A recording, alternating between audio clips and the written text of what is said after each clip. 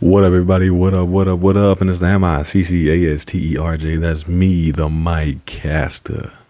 And this is Trust the Plus. Sorry, it was goofy. no. So, yeah, welcome back to another episode of Trust the Plus, all right?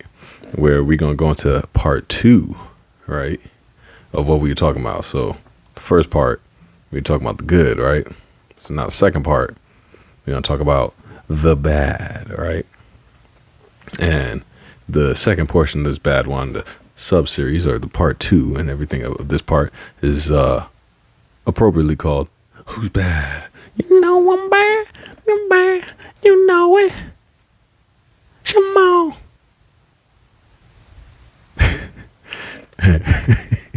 when do people look at this and cringe? Um, but no, for real. Um, so yeah, we're gonna get into it, right? And we're gonna dive right into what is really known as bad, and we're gonna do it right here on T T P. Yeah. Yeah. Yeah. So what? Keep your head up, right with me, let's go. Keep your ears up and listen to me, let's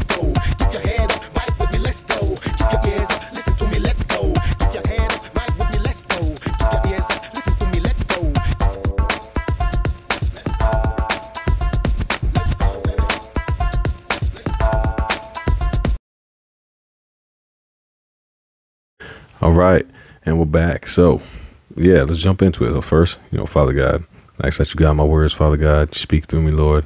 Move my bias out the way, Father God. Move my worldly views out the way and speak through me, Father God. Manifest the word and what needs to be heard to your people, Lord. In Jesus' name, amen. So, yeah, going into it, we're going to go into what is really defined as bad.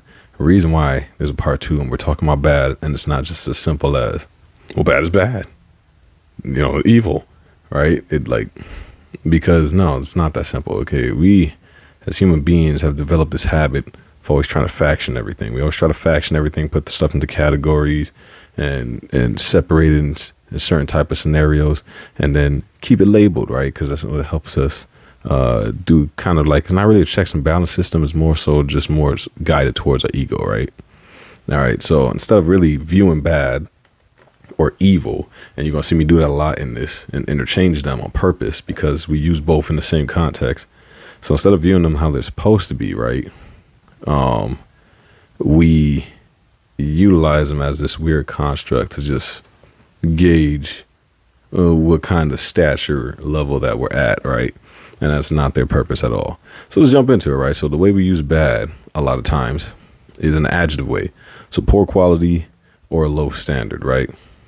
So always using bad in this way to define